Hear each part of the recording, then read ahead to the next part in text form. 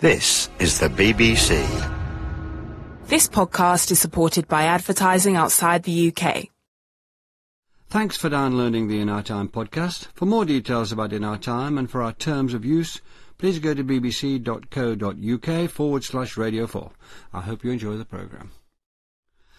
Hello. Had the famous and fabled Library at Alexandria, founded at the beginning of the 3rd century BC, not existed, it might have been invented by one of the many stories housed within its walls.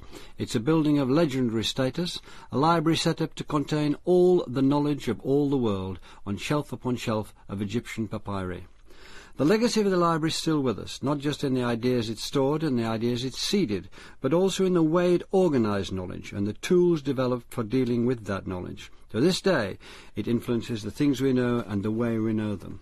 With me to discuss the library at Alexandria are Serafina Cuomo, reader in Roman history at Birkbeck College, London, Matthew Nicholls, lecturer in classics at the University of Reading, and Simon Goldhill, professor of Greek at Cambridge University. Simon Goldhill, perhaps the best place to start this programme is not in Alexandria itself, but with the death of its founder, Alexander the Great, who died in 323 BC. What kind of world did he leave behind him? A world as yet unconquered, but then can you tell us why he made for Alexandria? Alexander changed the world for all time by spreading Greek culture across all of the East. He conquered the barbarian empire, as the Greeks called it, of Persia. He got as far as Afghanistan and India, and across through Egypt as well. And what he spread throughout that world was Greek culture. It meant Greek language and Greek institutions. He founded cities across all of that area. And what that meant was that for the next 800 years, the language of the elite was Greek, and the language, indeed, of a lot of the people became Greek. It's extraordinary to think that the language of a place like Jerusalem for 800 years was Greek. The Gospels written in Greek. All of this because of the spread of his world. Now, when he died, three generals took control over the massive empire, and the one we're most concerned with was Ptolemy, who took control of Egypt, and so we're left with a new Greek ruling elite over this area of Egypt.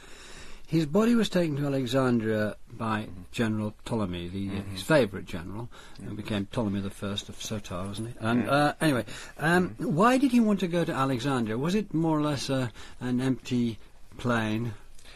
Alexandria was founded by Alexander. It was his favourite Alexandria. He founded several of them, but it was the biggest.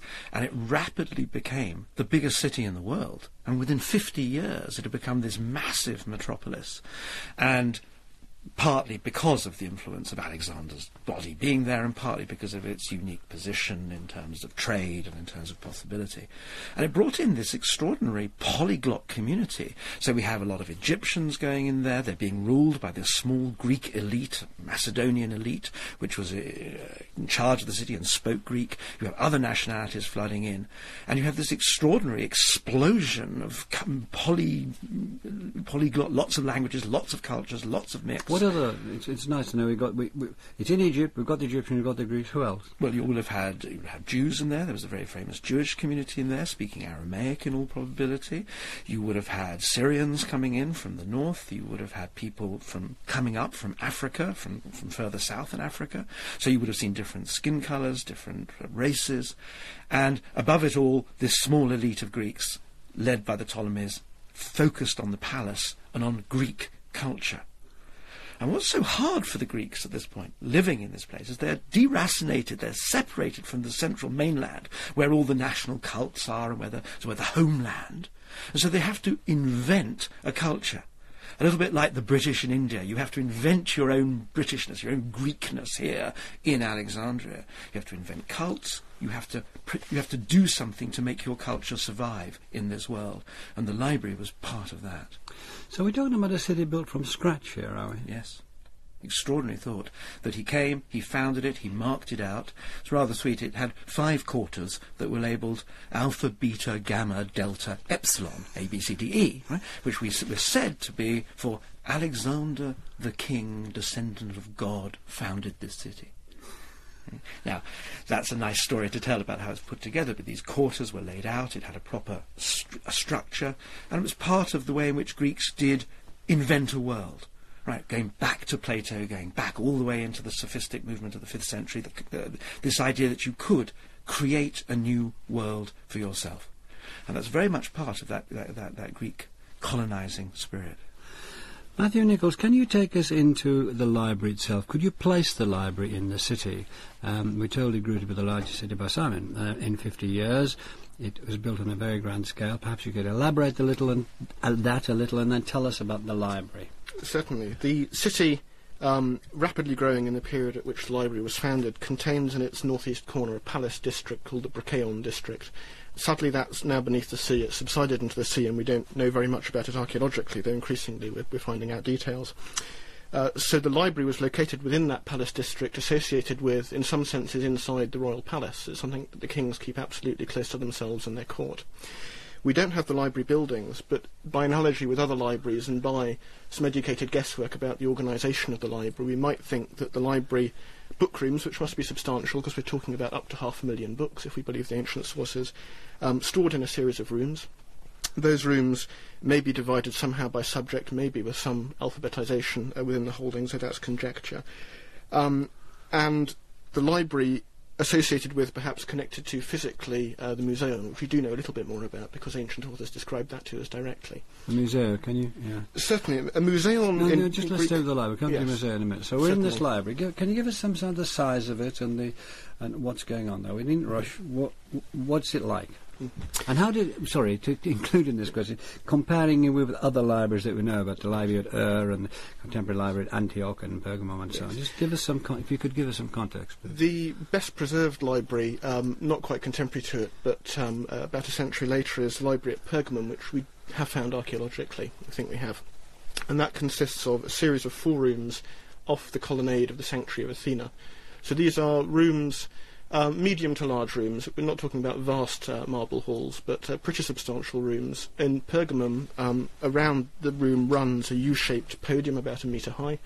Um, on that podium, we think um, stood uh, wooden bookcases. There are attachment points in the top of this podium wall um, that are conjectured to be for wooden bookcases, with the books stored in them and separated from the wall slightly to prevent the permeation of damp into the books. What about earlier libraries like Ur and Babylon? Those libraries contain clay tablets, not papyrus scrolls, or clay tablets which survive and wooden writings which don't. Um, and the fine context of those are pretty poorly understood because they were dug in the 19th century and the clay tablets are now not very far away in the British Museum. So those were tablets stored again on wooden shelving, which doesn't survive, but the clay tablets do. So how then is Alexandria distinguished both from that which followed it, Pergamum, and th- those which preceded it? um, by scale, uh, by scope and ambition. And we think by the way it started systematically to organise its books, to classify them, list them, uh, probably house them in a way that uh, reflected a sort of scholarly order. That's uh, the unique contribution of Alexandria. To be literal minded, um, what about the scale? You've talked, uh, you've given us some idea of Pergamum. Can you give us some idea of? Uh, I, I know there isn't much left, but uh, you know you can dig away. The um, uh, the ancient literary sources which we rely on for um, any testimony of what books were there or how many books are, for various reasons, not wholly reliable, but they centre in on a figure of roughly half a million papyrus scrolls. One papyrus scroll would hold about 2,000 lines of writing, so uh, a book or a couple of books of Homer, one Attic tragedy, something like that, which gives you the idea of the scale of the library's holdings. A papyrus scroll is going And is this much bigger than anything that Huge, hugely bigger, yes. And the authors agree um, that it was massively ambitious and that it held a large number of books, even if we don't take the numbers literally, and we probably shouldn't. The fact that they're unanimous in talking about enormous um, scale of holdings is suggestive of the uh, the ambition of the library and its librarians. And now to, on to this museum, which Mm. became our museum. What's significant about that? That is one of the things that transforms this library from being merely a sort of royal curio cabinet stuffed full of books into being a working resource, an actual scholarly institution. The museon, Greek word, just means a place where the muses are active. Um, philosophical schools have museons, it's where we get our English word museum. So it's in some sense a temple of the muses, that is, of the arts. And the museon is a place, um, it's an institution, and it's a community. So it's attached again to the palace. Uh, we know a little bit more about its physical layout because we have the testimony of a Greek geographer called Strabo, who says that it contains an exedra, which is a room like a lecture hall with seats for lectures and debates, we presume. It contains an oikos, or hall where the scholar community takes its meals in a common table. And it contains a covered walkway, or peripatos, uh, which derives from um, the, the covered walkways of Greek philosophical schools, and which lends its name, for example, to the peripatetic branch of philosophy. It simply means somewhere where you walk up and down. So the scholars would walk under the shade with their books from the book rooms, uh, debating and, and reading and talking. Serafina Cuomo, we have this heavily subsidized, as the contemporary word would use, library by Ptolemy. They obviously they wanted this to be a striking place. They wanted it to be of great significance. They wanted the world to take notice. Why were they so determined to do that? For more than one reason. One of the uh, reasons that may have been behind Ptolemy's decision to invest so much in the library and the museum relates to what Simon was saying earlier. Trying to forge a Greek identity in a new territory, in a, a land that has centuries, millennia of history as an Egyptian history, and try to impose a new government which is very different, which has a different language, different institutions, different religions. So it's taking on the Egyptian, as it were, for one in one respect. It's saying Egypt, Egypt stops here, Greek starts now. I think that may have been it initially. Uh, I think as the library and the museum carry on their intellectual and cultural life, uh, we go more and more in the direction of maybe integrating the two or doing something that becomes Greek Egyptian. So later on you see a translation of Egyptian works into Greeks, as if the Greeks were interested in actually knowing about Egyptian history and relying on their tradition. Um, another reason, as well as uh, uh, forging and uh, um, imposing of Greek identity, has to do, I think, with political competition that Ptolemy was not the only successor of Alexander. Again, as Simon said, there were three of them. The Hellenistic kingdoms, as they're called, were continuously at war with each other. War can take place in more than one battlefield. One is the real battlefield, the military one, the battle with catapults and soldiers and all that. But another battlefield is cultural competition. So there are stories about how the library at Alexandria competed with the library at Pergamon for instance. There's even a story in Vitruvius, which is probably false, that says that the library at Alexandria started because there was already a library at Pergamon, and Ptolemy, the king of Egypt, was jealous of that. uh, Alexander was famously a pupil of Aristotle. Is the, the uh, more than the ghost of the hand of Aristotle evident in this library? More people would say yes. Uh, one of the most famous stories about the foundation of the library is that a, pupi- a pupil of Aristotle called Demetrius of Phaleron was involved as a consultant of sorts. Demetrius had had a very active political life in Athens. Then times changed and he was basically, he fell in disgrace. So he had to move and he seems to have moved to Alexandria where he was uh, um, instrumental in uh, helping with founding the library, telling the king what to invest in, organizing it to begin with. It is a story but it seems to have some basis in reality. So, what would that effect be seen in the categorization, the classification that Aristotle was uh, one of the things he was famous for? Aristotle seems to have had a very ambitious project. He was interested in all branches of knowledge. Together with his students, um, he produced treatises on practically every form of knowledge, from logic to biology, from physics to metaphysics, which includes what we could call theology. And he seems to have been rather systematic about it. So he was interested in classification, he was interested in definition, he was interested in how the system of knowledge is put together. Now, if Demetrius shared that view, that may have been carried into how the various parts of the library were organized.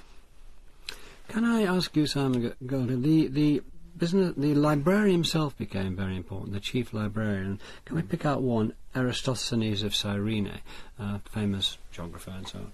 Mm. And what what function did the chief librarian have? He, he, seems to appear in history at this point, but appear in a very important way.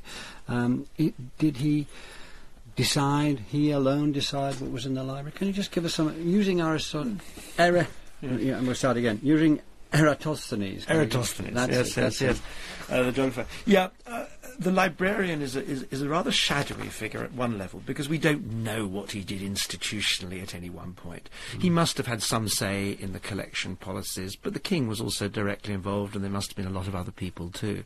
Most importantly, he was a sort of superior academic who would uh, write technical treatises of various sorts to do with books, to do with ordering knowledge, but could also be a poet. We're told that Callimachus, one of the most famous poets of the ancient world, who had a huge influence on Latin poetry as well as on Greek, was actually the librarian at Alexandria, and there and uh, was writing from within the library. Well, Eratosthenes himself was remarkable as a geographer, wasn't he? He His measurement of the pl- of of the Measurement of the pa- stayed for yeah. centuries and centuries. Absolutely. I mean, he was, and he was also a supreme rationalist who talked about the impossibility of following uh, Homer's version of the world in various ways, and uh, famously said, "If you uh, if you can show me the, the the cobbler who sewed the sack of the winds, I'll show you where Odysseus travelled. so, um, um, yeah. But what was in? So we've got the library. Alexandria inspired. Ptolemy built it. Biggest city in the world in 50 years. Placing itself as a cultural force against Egypt in the in, in the past, against the other Hellenistic kingdoms. The mainland is over there. They want to vie with that as well. What's in it? Can you give us some idea of what they collected? All knowledge. It's a fantastically ambitious project. The aim is to collect in an imperial way the sum total of what humans know and to catalogue it and to organise it. So parallel to Alexander trying to conquer the whole world, here we've got as it were the intellectual equivalent of trying to conquer the whole world of knowledge. They also collected people. Mm. The people that revolved around the museum, the intellectuals we could call them, but also the scientists, the doctors, the poets, the grammarians, were part of the collection.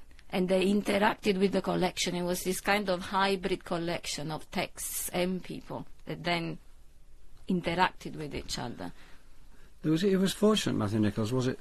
Was it, or was it deliberate that they, the the city was on a, a, a place that was near these marshy reed beds, which gave the papyri and the papyri gave them something to write on? It's it's certainly fortunate. Um, the kings, we're told in another one of these attractive stories, um, used it to their advantage at one point by completely embargoing the export of papyrus. There are lots of stories about the desperate acquisitiveness of the Ptolemies in this project to acquire everything and, and to be uh, a non-pari library. So we're told they banned the export of papyrus um, to stop the Pergamene kings amassing their rival library. And further, these kings in Pergamum then invented parchment as a writing surface in order to uh, dodge around that ban. Now, I don't think that story is wholly true, but it, it does indicate the importance of the papyrus industry to the creation of books. Can we just develop the content a little more? Simon has very grandly said, like Alexander, having conquered the terrestrial world, I conquer the intellectual world, and there it is. But what can we go into it a little more, Seraphine? What Homer has been mentioned, but other other other writers, there's mathematicians, there are engineers. It, it's a place where technological uh, uh, um, ideas are advanced and so on. Can we have a bit of detail? Yes, um, Homer is, I think, one of the most important and interesting cases there. Um, I could mention Euclid. Euclid, the writer of the Elements, which was the main textbook for uh, uh, geometry and also arithmetic, even in British schools until I was 50 years ago, um, wrote Euclid wrote the Elements apparently within the cultural context of the, um, the Library of Alexandria. The Elements is a collection of previous mathematical knowledge. Euclid may have added something to it, but what he seems to have done is uh, um, looked at what was there and systematized it in a way that makes it very logically organized. So if he was working within the library, it makes sense to see him as going to the section of the library where the mathematics is, looking at it, and then putting it together in what becomes a canonical text. And again, we're talking about these people being drawn there because the Ptolemies were putting money into it. They would get the equivalent, they would be well enough paid, or we must assume, or they wouldn't have gone, would they? Uh, well enough looked after, given great opportunities. Can we develop that even more, Simon? Certainly, well, we know it was a place for uh, research in science. We know about uh, anatomical research. But perhaps the most interesting one is, is what happens to poetry. In this period. That's, that's what I'm most interested in. Uh, and that's to say that when you start to write from within the library, you start to create this sort of elitist, privileged world of superior knowledge. And one of the ways that you show off your status is by knowing things that people don't know. And consequently, poetry becomes this very, very specialised, individual, competitive genre. We move away from the great Why public is it more literature. important as a matter of interest than mathematics? Just It's not more important. It's one of the ways in which well, why did they show off with poetry? I'm just fascinated. Hmm. Why did they want to show off with poetry rather than with mathematics for uh, and all the or philosophy Hmm. or engineering, all the other things? Just why did they go for poetry? They showed off with all of those areas, but the reason why we know poetry to be so important is because it gets picked up by so many people in later generations. Right. So the, the Latin poets picked it up in the same way. But it's undoubtedly the medical texts, as Serafina can talk, to, talk about, were you know, hugely influential in, in, in, in, at the same time, as were the engineering ones as well. Matthew. The first four Ptolemies, at least, were all intellectual figures themselves. So these uh, poets, philosophers. In what sense? I mean, they, uh, did they write stuff or did they back they stuff? were yeah they were interested in branches of learning like uh, the, the fourth Ptolemy was a playwright um, I think the second was interested in zoology they were all of them keen to present themselves as intellectual figures and to collect scholars round them to display themselves as such and to interact with them we know that the Ptolemies right down to the last one Cleopatra went and attended debates in the Museum so it's an important part of royal self-presentation at this date The man Callimachus of Cyrene, he produced uh, Alexandria, the, the library's first catalogue. Can you give us some notion of the impulse behind this Yes. huge uh, feat? It's uh, a really significant moment in the history of scholarship because rather than just being a catalogue with shelf numbers on it, which it isn't quite, it's a vast bibliographical project whose aim is to categorise, list, and make accessible and knowable the complete gamut of, of literature, as Simon was saying. So it's called the Pinakes. It's in 120 books, um, five times the size of Homer's Iliad, for example. It's an enormous work. And it divides literature up um, by form and by genre. An interesting question about the interaction of those two. So it starts with a division between poetry and prose. Within poetry, there'll be epic, lyric, dramatic. Within dramatic, there'll be comic and tragic. Um, within each of those sub sub genres, there'll be a list of authors alphabetically. Each author will have um, a little biographical entry. Um, I have one here and could read it if you wanted. Um, for example, Eudoxus, whose father was Aeschines, from Cnidus, astronomer, geometer, physician, legislator. He studied geometry under Archytas and medicine under Philistion of Sicily. So a little potted sketch, and then a list of that man's works um, alphabetically. So it immediately makes this vast mass of books, this 500,000 books, um, accessible and, and comprehensible, and also it establishes a canon, which is important. Simon, can we uh, uh, dig into the significance and importance of this great catalogue, this catalogue at the time, but then since then, ever since then? Well, it organises knowledge in a way that it hadn't been organised before. As where it took the principles of Aristotle and applied them on a vast scale, so that now literature falls into genres. We can put them in these areas, and we start to do scholarship on them. And what's so interesting about the catalogue is that it's actually, a, as it were, a meta text. It's above the. It's not a piece of literature. It's commenting on literature. And this is the great period of grammatical commentary, of the beginnings of literary criticism, of. Uh, of, of commentary on all sorts of text, on writing in the margins of all sorts of texts. So it's not just that you produce literature, but you actually have to produce things that you talk about literature. And so it's one of the great periods for the organisation of scholarship as we know it. So Homer becomes one of the founding texts not because it's epic poetry and we read about it, but because we have to do commentary on it, we have to learn how to do literary criticism, and that's the basis of a scholarly education. Uh, Serafina, can I ask? Sorry, you were saying? I was just going to add that, of course, it's a very rational process, um, that it's susceptible to human reason. That these are not sacred texts of which not one letter can be changed. They can be improved, edited, organised, and categorised. Serafina, this is a place of active scholarship. You have mentioned Euclid. Uh, we understand Archimedes went there too, and so did Galen. Can you, uh, on his way back to Pergamum, nevertheless he went there. Can you give us some idea of what they might have? The big. You've, you've talked about Euclid, but what Archimedes might have got from there, and uh, what uh, Galen might have got from there, and other scholars. Just what the what sort of work they could do because of this library. Um, Alexandria became a bit like Athens was in its golden age. So it started to attract intellectuals, scientists, doctors from all over the Greek world, even those who didn't receive the patronage of the Ptolemies directly, even after the Ptolemies went, which is the case of Galen, the idea that Alexandria was the place to be if you wanted to learn and be at the cutting Mm. edge of research remained. So uh, they went there because they had resources in the library. They went there because there were other people they could interact and discuss with.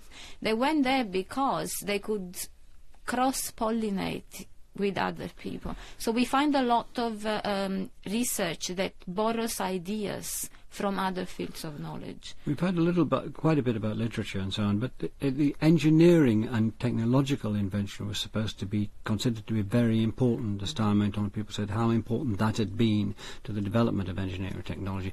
Equally, Galen, uh, who lasted for 1800 years with, it, with his anatomy and so on, he got something from there. Can you talk a little about that and, and give us a steer in those directions? To start from the engineering, one of the most direct references we have in the literature to the patronage of the Ptolemies is a passage in a treatise which is about building catapults. War engines. The author is called the Philo of Byzantium, and he writes in the third late 3rd century BC. And he says explicitly that the engineers in Alexandria made enormous leaps forward in the construction of uh, war machines because of the kings there who, he says, were ambitious and loved technology. So he makes a very direct correlation between putting money into research and research actually progressing. And we know that Galen was Galen of Pergamum, and, and, and he went back to work with his gladiators, work with whom he could he could look at very closely for what he needed to find. But what did he get out of Alexandria? What was there for him to come? What was there for him was, I think, the presence of a lot of other doctors with uh, very different ideas. So he found um, ideal ground for developing his ideas in competition with others, in opposition sometimes with others. What he found there was the accumulated knowledge of centuries, which was not just about anatomy and physiology, but also about pharmacology what kind of drugs you can use. There's another very nice passage in one of Galen's treatises where he talks about going down to the harbour, the port of Alexandria, to talk to the sailors and see what they've brought in and whether what they have can be used in uh, curing diseases or uh, putting together drugs that can be useful to heal sick people. Matthew Nicholls. Galen, as well as being a doctor, is um, a man of letters. There's no distinction between the two at this date, of course, and he is almost obsessed with the quality of the text that he's reading because ancient texts are handwritten; they're susceptible to error and corruption. And Galen spends a lot of time talking about the authenticity and accuracy of his text, and what he really wants to get is uh, a manuscript copy, an, an old copy that hasn't had a chance to accumulate errors. So one of the things he finds at Alexandria, as he does in libraries elsewhere, like at Rome, are these authentic, premium, well-kept uh, copies of books. For example, in a pharmacological recipe, um, even a minute scribal error can be disastrous. If you uh, prescribe 10 grams of a, a drug rather than 1 gram, it can be uh, appalling. So Galen really has to get an accurate text. Simon, we, you, we, I think it was you who spoke earlier about the. Uh, it was about the. No, it was, it was Serafina. No, about the different sorts of war, and one was the cultural wars, and the acqui- There's something called the acquisition scandals. All. It was by hook and by crook, wasn't it? I will get your book. We want, yes, absolutely. The, the, the desire to get everything and to get the best text is very important. And the most famous story is that in Athens there was an authorized text of the great tragedians, Aeschylus, Sophocles, and Euripides. And this was kept under lock and key in Athens and was the one text from which you could copy to make plays to, to spread around the world. Ptolemy was very keen to see this as he said, and Athens said, under no circumstances we're not letting this book out of us. They said, well, we'll pay. Said, we'll pay a huge amount of money. I mean, talent upon talent of silver. I mean, really sort of millions. In order just to have a look at it, please. Could you just send it over so we can make a copy? And we'll give you this deposit. And the Athenians thought, well, that's such a huge deposit, we'll, we'll risk it. And of course, the book never came back, and they could never get it. And um, similar stories abound that he was They just did very. send, they were kind enough to send a, a they sent they, they sent back a copy, of A copy, course. yeah. Yes, yes, absolutely. Matthew. Uh, yes, um, and uh, for example, the Ptolemies also confiscated books on ships passing through the harbour. So much so that uh, Galen again says that some books in the library were marked from the ships on their little tickets um, because they'd been pinched from uh, passing merchantmen. One should never forget that the uh, imperial project of the library was very much an imperial project. When we're talking about intensity, I mean, you're talking about getting the, the correct text. Um, can you give us an example of how intensely they did work at it? Let's take Homer. Everybody knows Homer. We've got Iliad, the Odyssey, the key text, the great Greek key text. Now, we've, you've already mentioned that those were under lock and key in Athens, but how corrupted had they been? What did they do at Alexandria? What did they do about getting Homer, pushing it back to what they thought was its original pure form? Well, they spent absolute hours looking at the text. They would start to find, are there any anomalies? Does the story make perfect sense? Is there a little gap? And if there was a problem, they would excise the lines. They didn't throw anything away, but they would mark on the text that they thought this line was corrupt or obscure. Then there was the question of Homeric language that was already antique by the 5th century BCE, let alone the 3rd century. And so people couldn't quite understand it. So you had to do a lot of grammatical work to discuss, was this the right form? Could we change this word or not? And as soon as we start doing this work, we develop obsessiveness. We get these pictures of these obsessive academics working away, arguing with each other, and at the same time parody. There's a wonderful poem that talks about the academics of, of Alexandria as gonia bombukes, people who sit in the corner and mumble about whether the right word in Homer is min or nin. And this sort of parodying of the obsessive academic starts exactly the same time as the academics start. Serafina, was there, uh, uh, it's already been mentioned because obviously there was, but how did the um, dominating imperialistic nature of Ptolemy's uh, cultural policy affect other cultures? I mean, were they sort of putting down the Egyptian, take the one that's nearest, the one on whose soil they sit? Can you tell us about that? I think that's a real, a really controversial point. Um, I think for many years scholarship has focused on the opposition between the Greek Ptolemies and the rest of the population. But I would say in the last 15 years or so, we're looking more and more at the ways in which the two cultures were meshing with each other. Um, so I've mentioned the translations from Egyptian into Greek. Um, recent work has been done on the way um, in poetry, in Greek poetry, images taken from Egyptian culture, typically Egyptian themes, are used, as if there really was an effort at some point to put the two together rather than just oppose them. One of the easiest ways to think about that is that the Ptolemies, as rulers, started to marry their sisters. Now, that was not normal in Greece to have brother sister marriage, but it was normal amongst the Egyptians. And the fact that the ruling elite could pick up that cultural model shows how deeply they did, at some level, absorb Egyptian culture. And to talk about another neighbouring culture, um, there's a, a text called the Letter, Letter of Aristeas that implies, it states, that the Ptolemies were responsible for commissioning the first Greek translation of the uh, Hebrew Pentateuch, the, the translation that came to be known as the Septuagint, we're told was commissioned and translated in the Museum at Alexandria. Can we turn to the demise of the library? It, it seems to have taken a long time and, and, and many uh, false reports. We've talked about the Ptolemies going right through to Cleopatra. Everybody will know about Cleopatra and Mark Antony and Julius Caesar, so they go on for about three centuries there. But uh, And there's a feeling that the library sort of comes to an end there, but it, go- goes on for many more centuries afterwards. Just can we explore that and the reasons for its tenacity and the influence it continued to have or did not continue to have? Starting with you, uh, Matthew Nicholls, there, there were reports that Julius Caesar went to Alexandria, burnt it down, burnt the library down as well. That's wrong. Uh, yes, it is. Um, is a short answer.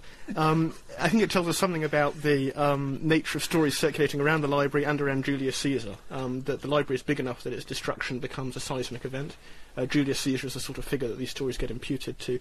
The the story is that he um, chased uh, his enemy Pompey um, to Alexandria, found that he was already dead, got involved in a local succession dispute between the last uh, straggling lines of the Ptolemaic dynasty, was hauled up in the harbour and decided to fire the harbour and the fleet to, to fight his way out. And in that fire, uh, the flames spread to some books which were destroyed. And that story, uh, over time, becomes the story that Julius Caesar burned down the entire library. So the figure of books destroyed escalates from uh, 40,000 in the first century AD up to 500,000 a few centuries later. The story keeps getting amplified. So Caesar didn't do it, Serafina Cuomo. Uh, what's the next? Uh, uh, who's the next supposed culprit? Sorry to use this colloquial term, but Well, the Christians are supposed to have burned libraries in Alexandria, but when the what date are we talking about there? About the third century AD, that sort of I would say fourth, the fourth, fourth to fifth century AD. We know that once Christianity becomes definitely the dominant religion in Egypt, um, riots break out in Alexandria at various points, led by bishops and involving monks. It's all a bit murky because the literature about Christianity is always biased one way or the other.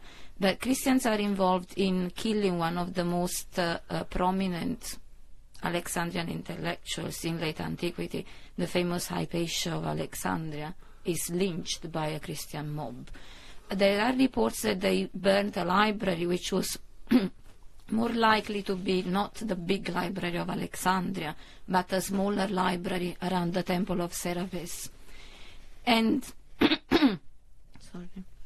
Um, with Christianity taking over, um, it could be argued that the predominantly mm, non-Christian contents of what may have been in the library at this stage were not as valued as they used to be.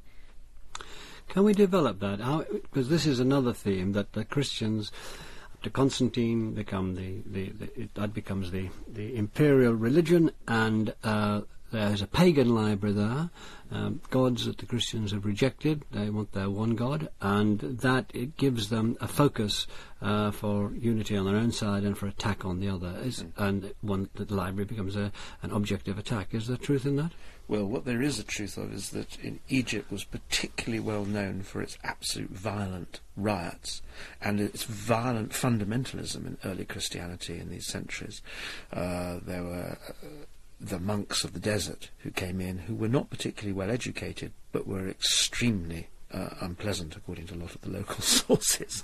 And uh, Hypatia These wasn't. the, these yeah, are the Antonine monks and Yeah, the, they're- yeah, absolutely. Cenobitic monks of the desert. Yeah. Yeah, they were, they were celibate, they were aggressively anti-woman, they were aggressively anti-intellectual in certain ways, and they didn't just lynch Hypatia, they ripped off her flesh with oyster shells, and the flesh still quivering was thrown into the crowd, according to the, the contemporary I don't know sources. we needed to know that. I don't know if we need to know that, but it gives a sense of the. And so they destroyed Greek temples, the Serapeum was destroyed, they destroyed all sorts of artifice. They really wanted to get rid of the signs of paganism. And in that context, it's quite likely that there would have been destructiveness of the library, but we still hear stories of the library after this. So it is unlikely that the library itself was destroyed. There's also just this little footnote before you pile into this, uh, Matthew Nicholas, footnote that the, the Christian's way of presenting knowledge was different in its form, in its Yes. physical form, from the papyri. Can you just bring that to bear? Certainly, um, it's less picturesque than the oyster shells, but um, the, the technology of the book changes. Um, pagan authors write, broadly speaking, on papyrus um, scrolls. Christian authors, broadly speaking, use parchment codices, a sewn-leaf folding book, similar to our own modern book. Um, because all books have a shelf life, and literally, and papyrus is brittle, um, and the ink fades and worms eat it. What the Christian authors are interested in copying uh, changes, and so as the papyrus scrolls of the library come to the end of their natural lives, they're not recopied. So it needn't be a single conflagration destruction event. It's also a shift in book technology and a shift in taste that accounts for the loss of much of this stuff. So what's your thing? But the libraries go, we're in about the 4th and 5th mm-hmm. century AD, and we still have a very big library there, as I understand it. There's a reasonable consensus around the table. Mm-hmm. so, so when, what significance, is it, it obviously losing its significance because of Christianity empire, but it's still an enormously powerful library. Mm-hmm. Yet there's still this idea that it came to an end, it was destroyed. So can we ferret away about that a bit more? The last story that we have is the Muslim story, which is probably also untrue. But the story is that the Pasha who turned up said either the works there are the Quran or they're not in the Quran. If it's not in the Quran, they're of no use to us. If it's the Quran, we already have it, so let's burn this lot. Now, that is again one of those stories that gets associated with uh, a powerful ruler turning up, just like the Caesar story, and there's no reason to assume that that is actually true. But at some point or another, in that in those centuries, it's quite likely that the library fell into such disuse that it, it, just sort of faded away rather than was destroyed in some cataclysmic event. Now, that's not historically so exciting. People always want uh, the foundation of the library was a genuine. I think most people don't want it. Actually, frankly, most people don't want it to be destroyed at all. No, that's also true. But if it's going to be destroyed, since it was, its foundation was so exciting and such a world-changing event, people would like its destruction to have been a world-changing event. And I'm afraid I suppose to swear to you just not using it is a, a sadder, quieter way of it ending. Not with a bang, but a whimper. That yeah, and Matthew, Matthew. I think that's true. And long before that, uh, the, the, last reported destruction event is AD 642 when the Arabs take uh, Alexandria. Uh, long before that, the centre of gravity in the, the classical intellectual world had shifted off to Pergamum, to Rome, to Byzantium, to Milan, and the library, I'm afraid, probably just faded away into the sand or the sea. A moment's silence, I think, should be observed here. Uh, so, give us the legacy of that. Did it have an immediate legacy, or are we are we amplifying the legacy from our own perspective now, Serafina? I think it did have an immediate legacy. Um, I think late antiquity was a much more lively period than we usually read. So, to the extent to which a lot of cultural life was going on in the fourth, the fifth, the sixth century B- AD and beyond, um, the legacy of the Library of Alexandria hasn't stopped because one way or the other, a lot of the texts have come down to us. A lot of the literature was produced in late antiquity during a period of supposed decline. And a lot of this literature consisted in the commentating, annotating, discussing meta texts that Simon was describing. So the meta text practice continues. Finally, Simon, what do you think? The influence ripples through at the time and still goes through. First of all, without the survival of those texts, thanks to Alexandria, we don't get the Renaissance. So we don't get modern Western culture as we know it. And more specifically, without the practices of the library, we wouldn't have the university in the form we have it today, we wouldn't have the organisation of knowledge we have today, we wouldn't have the whole institutions of scholarship that we recognise. And that seems to me to be the sort of legacy uh, that is really profound. Well, thank you very much, Simon Goldhill, Serafina Cuomo, Matthew Nicholls. Uh, next week we were talking about the Boxer Rebellion in China around 1900. Thank you very much for listening. We hope you've enjoyed this Radio 4 podcast. You can find hundreds of other programmes about history, science and philosophy at bbc.co.uk forward slash Radio 4.